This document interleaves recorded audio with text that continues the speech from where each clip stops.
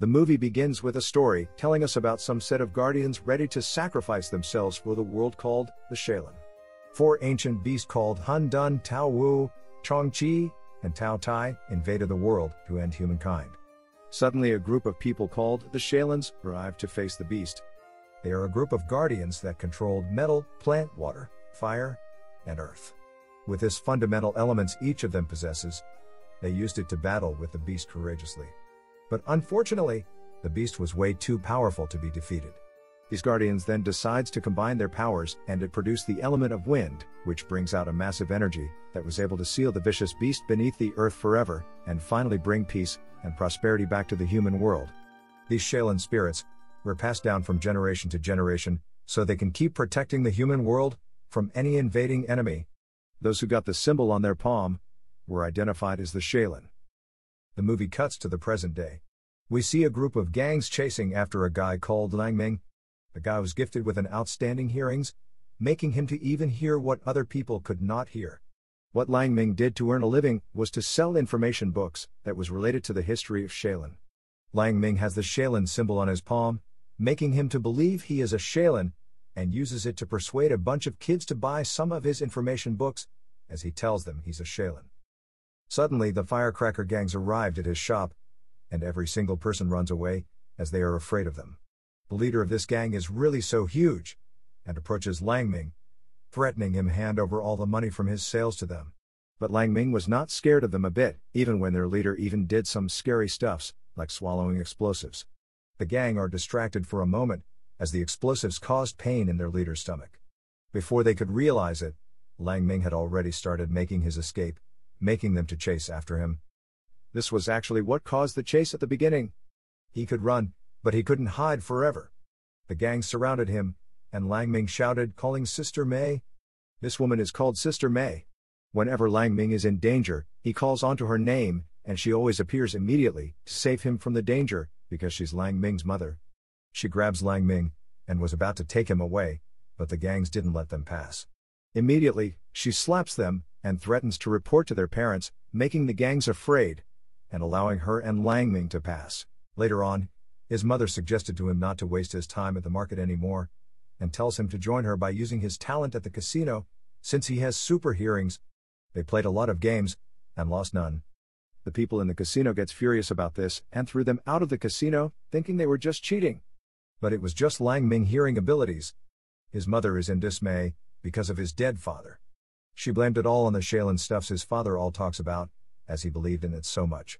He even did experiments on Lang Ming, which brought sadness to his mother, as his father was nowhere to be found one day, when he was riding a wind, and was assumed dead.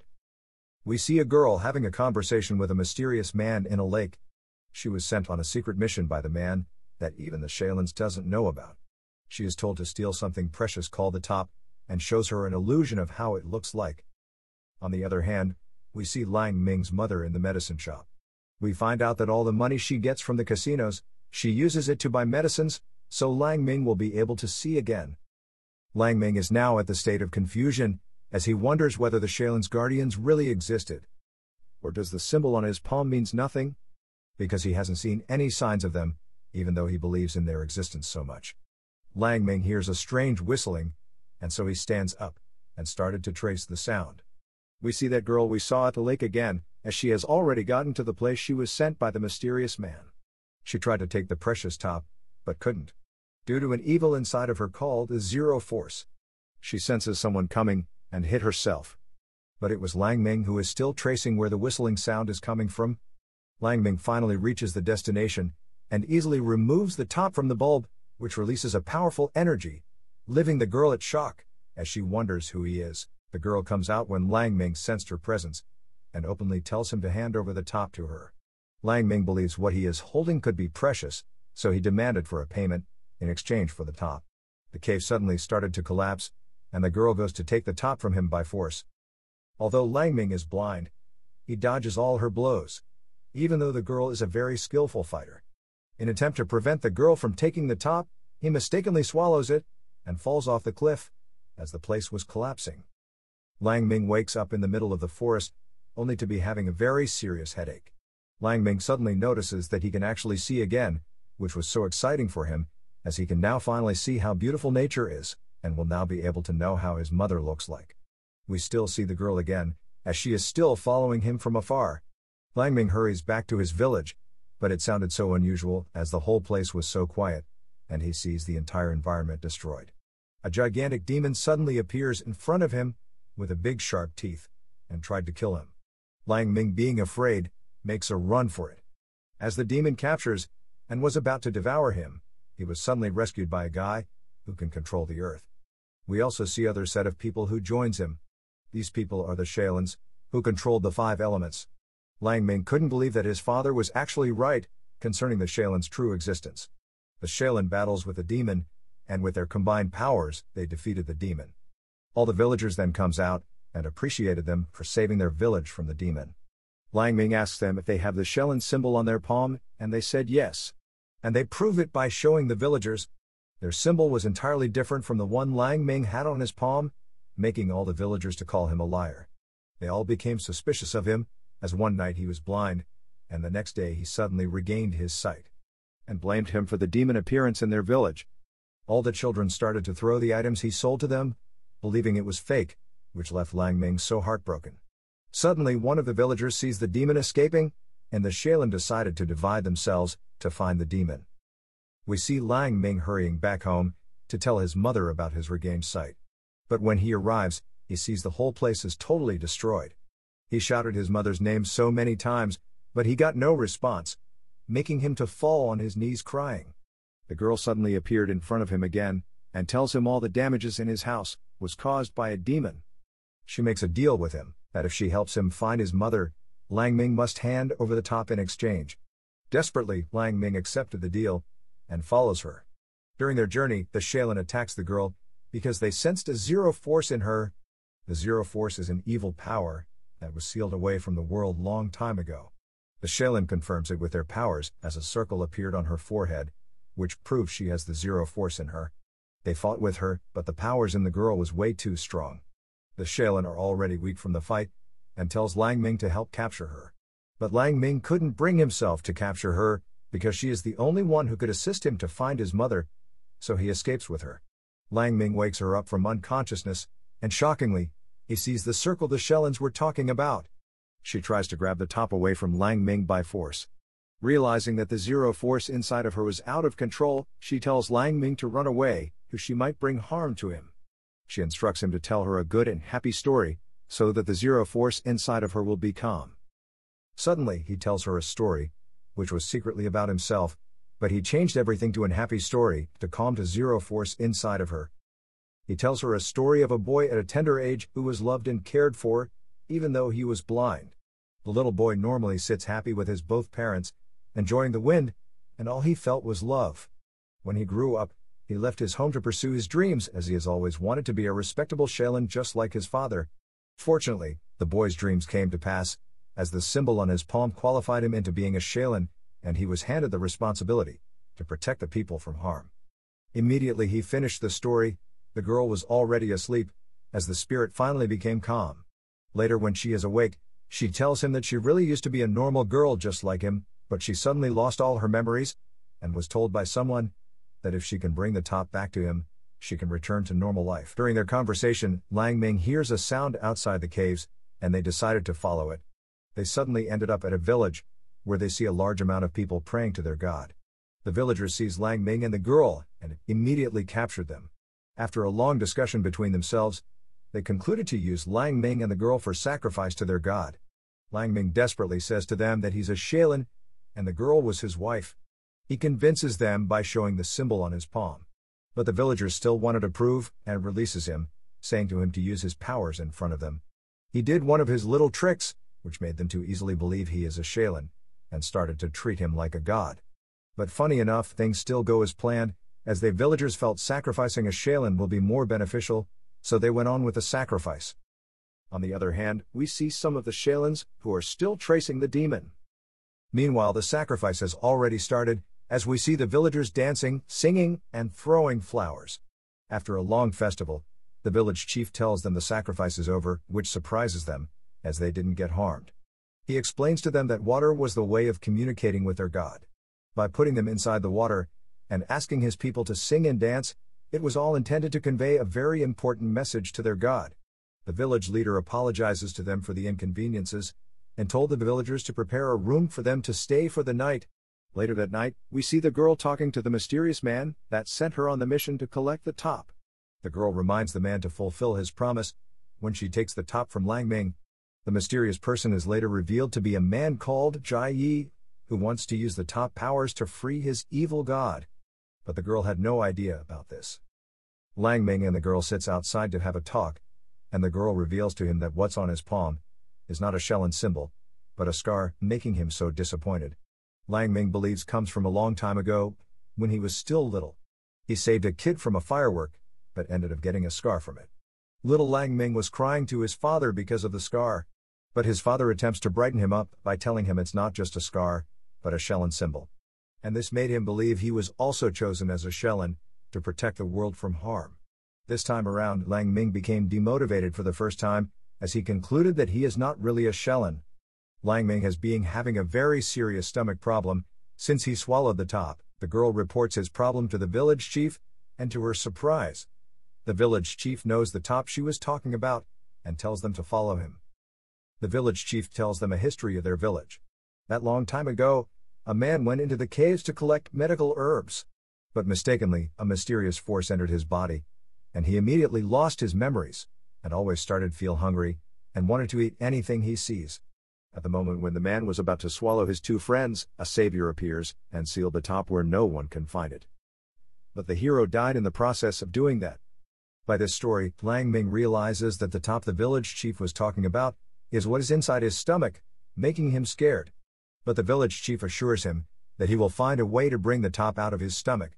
Meanwhile, he questions the girl to know the reason why she needed the top, since it was really dangerous. Lang Ming believes that it was the top that made him to see again. But if the top could make the girl to get back to her life, then he is ready to make the sacrifice of being blind again, in exchange for her freedom. All his words made the girl so astonished, and started to fall for him. Lang Ming's stomach started to swell up, as if he is pregnant. The girl started to take care of him, and their relationship started to grow bigger. One day, Lang Ming senses the top is about to get out of his stomach, so they immediately rush to the bathroom. After a few minutes, the top finally came out. Firstly, Lang Ming gives her a bracelet she has been admiring for a while in the market. As Lang Ming has already noticed and bought it for her, making her so impressed. He also brought out the top and tries to give it to her. Suddenly, she changes her mind and decided to only take the bracelet. While Lang Ming can keep the top, since it helps him see. Immediately, they continued their journey to find his mother. Suddenly, the girl's master appears and the girl quickly grabbed the top from him telling him that she lied about knowing where his mother is, and tells him to run away. She gives the top to her master, making Lang Ming so confused and disappointed. Immediately, the Shelins arrives and tries to stop Jai Yi. The Shelin seems to know Jai Yi, as he is very evil, and tells Lang Ming that he was the one that brought the Zero Force to the world. They try to fight him, but he disappears with the girl, before they could even fight him. The Shelin goes away to finish their mission, leaving Lang Ming behind. He returns to the village so depressed, and asks for forgiveness from the villagers, since he lied to them. And the demon caused a lot of destruction in their village. But they immediately forgives him, as they know what it feels like to protect people they care about. Lang Ming believes that if he can find the girl, he might have a clue on where his mother is. So he goes forward in finding her. Lang Ming goes to the mountain top and uses his super hearing abilities to track where Jai Yi and the girl headed to, Meanwhile, we see the girl asking Jai Yi to fulfill his promise by making her to be free again. But Jai Yi had deceived her all these while and tells her she is going to die from the zero force inside of her. Jai Yi plans to use the top to release a very dangerous demon called Tao Tai, believing when he does that, he will take control over the world. Lang Ming successfully infiltrated the caves when Jai Yi left, and threatens the girl concerning his mother whereabouts. Calmly, she tells him to follow her and takes him to a place in the caves, full of those demons. She sadly revealed that his mother is among these demons, and explains to him that all those demons were human. Until Jai Yi turned them into demons so he can use for his evil schemes. She reveals that his mother is going to die. As the Jai Yi plans to sacrifice all those demons as food for Tao Tai, the powerful demon he's about to release. She told him that it wasn't her will to partake in any of these, because Jai Yi was the one controlling her. She concludes that Tao Tai is a demon who can make any desire come true in exchange of being his own food. That was why his mother is a monster, because she's the reason Lang Ming is able to see again. Lang Ming cries really bad, as he realizes that the demon that was chasing after him at the village is his mother. And she wasn't trying to attack him, she just only wanted to confirm if he can actually see again. Suddenly, everywhere started to shake, and all those demons started to head towards Tao Tai to be sacrificed. Lang Ming started to call on his mom's name, wishing she could hear him, so he can have a final moment with her. But it was too risky for him to stay down there, until he got driven away by the demons that were running. The girl begs him to stop because he was putting himself in danger, but he wasn't listening. Lang Ming yells out more louder this time, calling his mom's name, and a demon looks back and started to run towards him, that was his mother. The other demons started to fall into the pit for the sacrifice. His mom tries her best to reach onto him, but could not make it due to the force of the running demons were so powerful. Lang Ming started to cry, as he couldn't save his mom. Jai Yi suddenly appears, and laughs on how the world was amazingly sorrowful. Fortunately, the Shaolin arrives, in attempt to stop him. Jai Yi quickly throws the top where the sacrifice was held, and calls on Tao Tai to come out, but nothing really happened. Immediately, the Shaolins goes to attack him. It was a really tough fight, as Jai Yi is so powerful. But as the Shaolin joined their force together, he was no match for their combined powers. Everywhere started to shake, and light suddenly disappears from the world, as Tao Tai is about to be awakened. A gigantic rock started to elevate up to the air, and the almighty energy unleashes numerous balls of flames that started to destroy the village. The girl tries to kill Jai Yi, but unfortunately, he was still in control of her, and tells her to kill Lang Ming. She couldn't free herself from the control, and killed herself instead. The girl apologizes to Lang Ming for everything, and as she is about to express her feelings for him, she died, and her body turned into ashes. This was a very devastating moment, as Lang Ming kept on losing everyone that loved and cared for him. Lang Ming now realized that his father never lied to him, as those demons are real. He remembers when his father told him that only when a person is blind like him, he can be able to use the wind spell. He started to squeeze his eyes, which made him blind, and he jumps off the cliff, as he believes he might trigger the wind spell, which might make him a Shaolin that controls wind. Tao Tai is finally free, which causes many villagers to lose their life in the process, because of the demon massive energy. The Shaolins tries to trap Tao Tai like they did before, but this time his powers grew more stronger, making him unstoppable.